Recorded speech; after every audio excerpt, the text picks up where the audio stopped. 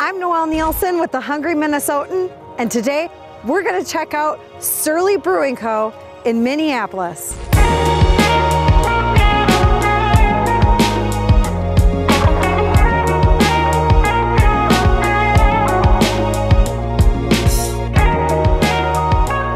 We're sitting here with Ben Smith, head brewer from the Surly Brewing Company.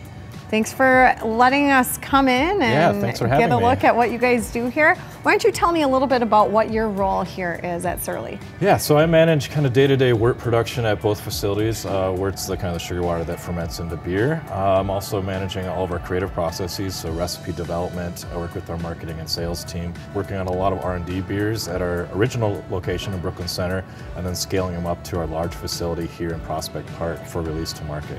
Okay, so Brooklyn Center is kind of like where it all, the, the testing of the recipes happens. Correct. So that, that, that was our original brewery. So about 14 years ago, that started pumping out beers. So originally, that's where Furious Bender and all the uh, original Surly beers came out. Um, we built this uh, facility and opened in 2014, and that allowed us to focus on mass scale production of those brands like uh, Furious Hell, Extra Citra, uh, and now a few others. So Brooklyn Center is now more of kind of the area where we're developing new recipes, uh, and then eventually some of those beers may bring it over here. But uh, if you come to the beer hall, you'll see a good example of both. It's the secret place, that's why they didn't let us in. yeah, so we, we don't have a tap room by Minnesota law. We can just have one. Sure. So the destination brewery is where people come to drink beer, Yeah. and the Brooklyn Center is more of the factory setting where we're kind of tinkering and coming up with new recipes.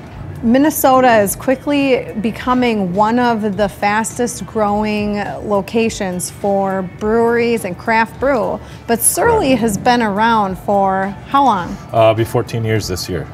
For a long time, one of the staples here in the community. And how long have you been with Surly? Uh, almost seven years at this point, which seems like an eternity, but it's been Yeah. fun. It's kind of, I think when I started, we had 20 employees, and now we have uh, almost 400. So Wow. uh, it's come a long ways. It's crazy. And would you say that the beer is being distributed around the country, or where where do Yeah, I believe we're, we're in 10 or 11 states Okay. uh, currently, um, which is it's quite a bit. Most of our beer is still sold here in the Twin Cities, though. And with as fast as the industry is gro- growing, how do you guys stay innovative with your recipes? It's a great question. Uh, the market today has changed quite a bit since I started brewing. Um, folks are really focused on what's new, uh, what's exciting. Um, so we're always trying to come up with new recipes and new brands to kind of keep it fresh and uh, competitive with the rest of the market. And that's really where that Brooklyn Center location comes in handy. If we just had this uh, large-scale brewery, it'd be hard to come up with innovative new brands.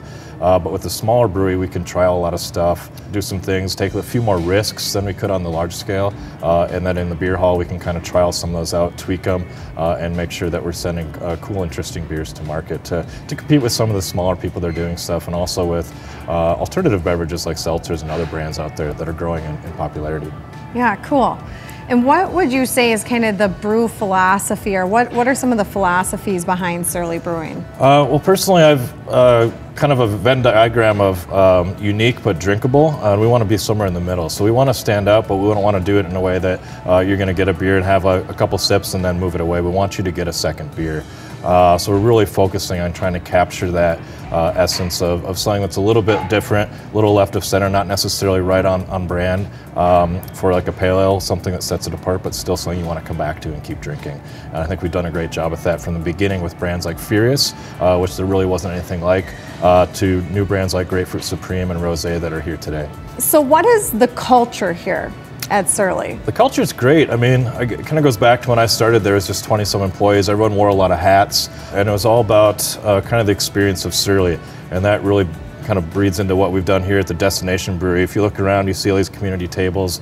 Um, there's not a lot of, of small four tops like we're sitting at, and it's really to bring people together. Uh, beer back in the day was about community, about coming together at the end of the day discussing you know politics, sports, whatever it is, uh, and just being a part of that community. So uh, that's a big part of what we are is, is kind of providing not just a space but an experience to. Um, folks are probably familiar with Festival Field. We've got uh, shows every summer where we're bringing in you know 6,000 folks for that. It's you know it's all about the experience, and then Surly's kind of the uh, the tool there to bring people together. obviously, this space is situated for more than just beer drinking, and you guys have added a food element. So let's talk a little bit about that. Definitely, yeah. We have an awesome uh, culinary team here, a great hospitality team, and uh, we kind of put the same focus on food that we do with beer. We're starting with uh, great ingredients. Um, working with local farmers uh, and, and doing most of the prep work in, in-house. So we smoke a lot of meat, we have a lot of barbecue, our burger's very popular. Uh, all the charcuterie here is done in-house. We've got a guy that literally makes sausages every single day. Um, and upstairs we've got a pizza joint that's phenomenal. It's based on New Haven style pizza. So uh, whatever you're in the mood for, we've got something for everybody. We've got great kids menu as well.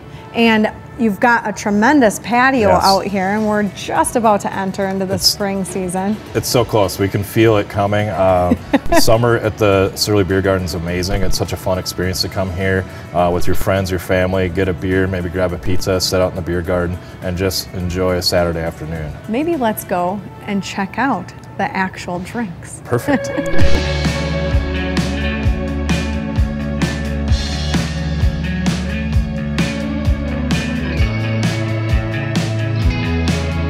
Okay, so now we get to get into the real business of what the brewery is all about. But since we at the Hungry Minnesotan take drinking and driving very seriously, and I was our driver today, I brought in my designated drinker. She's the luckiest employee in the world. I want that job. Best day ever. So, we were just talking about how, just like with wine, and people know that wine tasting is a big thing, you can do beer tasting too. You don't need to just sit it back and toss them down really quick. Very much so. I mean, craft beer is all about flavor. Um, so we're making kind of the anti-macro beer, um, and we've got three really good um, representations of that today. For three very different beers that we're going to taste through. And as you're tasting beer, I mean, you don't have to do this, but uh, I like to first just look at it. Um, Furious is the first one. It's got a nice, clear, uh, red uh, hue to it. Rocket Surgery is our hazy ale. It's hazy, that's good, um, but it's got a nice glow to it. It doesn't have like a dull haze. And then Rosé uh, is our wine-inspired beer, and it's got a really nice kind of strawberry rosé color to the beer itself. Um, so, so that's generally the first thing. Aroma is always the next. People always say you, you taste with your nose more than your actual uh, uh, tongue. Um, so when you smell the beer, with Furious, you're going to get some some nice citrus notes from the hops. You also get like a nice light kind of caramely malty flavor. Uh, Furious is an IPA. It's our flagship beer. This is the our number one selling beer, uh, and it's got a nice balance of malt to hop. So unlike most IPAs that are very much hop forward, there's not a lot of flavor from the malt. You're going to get a little bit of both here. So it's uh, one of the reasons it's really popular. If you like malt forward beers, you're still probably going to like Furious as an IPA. From there we go to flavor. So kind of take a smell and then take a sip. I always recommend taking one more. if you say so.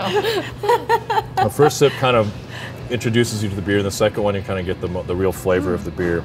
And again, it should follow kind of what you, you smelled in the beer. So again, Yeah. you get kind of a, a nice malt backbone. Again, you get some um, you know light roasty notes, a little bit of, of caramel and sweetness, and then nice bitterness from the hops, but not over, overwhelming. Uh, and again, that kind of the grapefruit, citrus, um, orange flavor from the hops, and all that kind of blends together in that beer. Um, so again, this is the one that kind of pays the bills for us. Uh, it's gotten us to where we are 14 years later. The next beer we have is Rocket Surgery. This is a brand new beer for us. It again is a hazy beer. Hazies are kind of a big uh, thing in the IPA world, but we brought the ABV down. So this is a sessionable beer, five and a half percent, um, and tastes really nice. You're gonna get less bitterness than Furious. Uh, a little bit more kind of a candied oak flavor. We use a lot of oats in this beer, some adjuncts, uh, then a nice citrus uh, punch. Um, so again, smell. You know, less maltiness in this, less roastiness. I went, It's I went you're into ahead the of yourself. taste too quick. Got too excited. Mm, the citrus is really good in Yeah, that that. one's just summery. Yeah, so this one, Yeah. It's nice. Get a little more tropical fruit notes, like almost mango. Papaya uh, differs a little bit from Furious. It's going to go overseas a little bit, and get more of that tropical Mm. fruit notes. Um, and this is a this is a great beer. Again, very approachable, um, not as intense as some of the bigger hazy IPAs you see other people making. Now, do you keep the mustache just so that you can, you know, keep a little bit of the I'm beer save some for later. Yeah, exactly. And our third beer uh, is a beer that's very dear to my heart. I'm a big wine fan. Uh, also in the state of Minnesota, we're not allowed to serve wine, spirits, or anyone else's beer. But we have a lot of families, a lot of groups that come here that uh, folks might not be a beer fan. Uh, so we tried to create a beer that uh, folks that no, don't normally drink beer and maybe are more of a wine fan uh, could appreciate. And being a big fan of, of wine, it was a fun challenge for me to kind of uh, approach a beer, kind of deconstruct uh, ingredients and rebuild something that can be wine-like. Uh, it's not going to taste just like a rosé, uh, but it's going to be very dry, very low on the malt uh, flavor. And we use just a kiss of strawberry uh, in the beer and a little bit of black currant to kind of give you that nice essence that you get in a rosé. Um, and this beer is a seasonal beer and package, but we generally have it in the beer hall year round. So nice effervescence, again, very light, nice fruit uh, component, um, very easy to drink. Wow, really Um, good. Yeah. It's a nice beer. If you don't normally drink beer, I highly recommend maybe trying that next time you're in the beer hall. I have a question for you. So, there's a difference between cans, bottles, and straight out of the tap. Can you kind of explain me why? You know, I noticed that most of your beer, when you're buying it locally here, it's canned. And why is that? We're primarily a can uh, package brewery. That's what we started out years ago. And it really started because we're big fans of outdoors. Uh, Omar, our uh, owner, is a big um, ultimate frisbee fan. Uh, likes to be out in the wilderness, and there's a lot of places you can't bring glass. Uh, it's easier to recycle uh, recycle aluminum as well. Um, it's lighter, so it's easier to ship, and beer quality is also affected. So light can actually be detrimental to beer. So uh, if you've got uh, a light colored glass bottle and it's uh, sitting in the sunlight, it can change the flavor of Sure. the beer. So by having no light allowed into the, into the can, it helps preserve that beer longer, makes it fresher, makes it better uh, for the consumer to drink. And you can put cool art on it. And it, it does also have a lot more real estate um, Yeah. for artwork um, versus just a tiny label. We can use uh, 100% of that can, 360 degrees, uh, to market the brand, uh, both Surly and the individual uh, beer style. So, what is your favorite beer?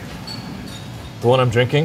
um, that's a good question. It changes quite a bit. Uh, Furious has kind of been my go-to since even before I worked at Surly. It's one of the reasons I wanted to work here because it was such a good beer and it was so different from anything else you can get in the Midwest. I tend to gravitate towards lower ABV though, so I can have a couple beers uh, and not have to worry about it. Uh, so Rocket Surgery's been been a great one. Uh, Hell or Helles Lager. Um, it's been around. It's one of, one of our first beers ever made. Continues to be one of my favorite beers. So, but it does change quite a bit.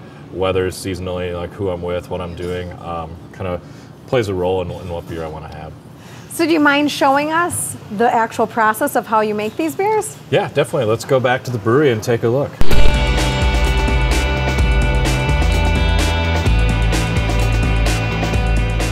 So we are in our brew house at Surly. Uh, we have a 100 barrel brew house. We have 600 barrel fermenters. So basically, we're making 1,200 kegs of beer at a time, uh, which is a lot of beer. Primarily Furious, Extra Citra, Hell, and then anything in a 12 uh, ounce can, like a Variety Packer seasonal release. Uh, so we're gonna walk up the brew deck here and talk about how beer's uh, made uh, from, from grain.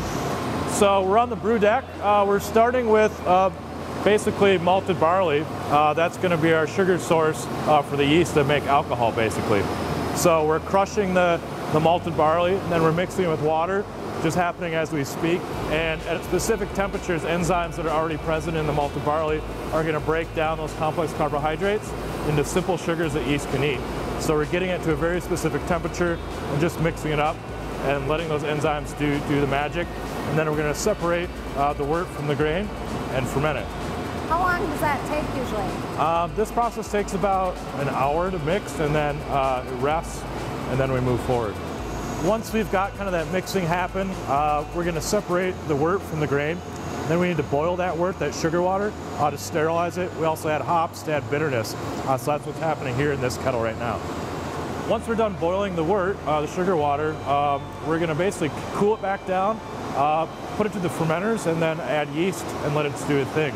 So we can walk into the cellar now and see the fermenters. Yeah, so this is a big heat exchanger. So this is what we're actually cooling the wort back down. So there's water on one side of it. There's all these like little plates in here. Uh, and on one side you have cold water, and the other side you have wort. So as it goes through here, it's basically cooling the, the wort down, uh, and then it heats the water up, and we actually recycle that water to use in the next brew. And once it's cool, uh, we can set it there, then add yeast. If you add yeast to it while it's still hot, yeast is a living organism, so it'll just kill it. Um, so now it's cool. We'll send it to the cellar through this pipe. So we're just going to kind of follow that uh, into the cellar.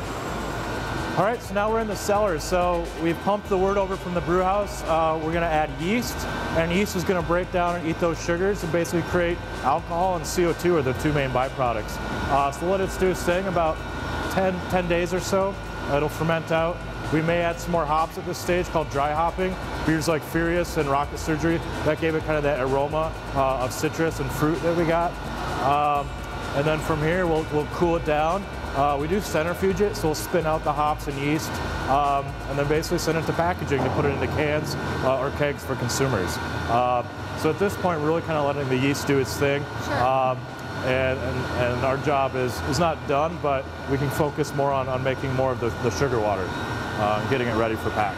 And so the external parts of these machines are actually outside. They are, yeah. So most of them, if you drive into the, the brewery, you'll see the big tanks. They almost look like silos Yeah. uh, outside. So the majority of these are outside. Beer ferments at around 65 degrees for ales, uh, around 56 degrees if it's a lager. Takes a little bit longer. And then we chill them down to basically right around freezing. Uh, a little bit of alcohol helps the beer from freezing, so you can actually get it to about 30 degrees. Yeah. Uh, from there, we'll, we'll package it. So, uh, and normally it's a struggle to get them that cold, especially in the summertime when it's when it's 110.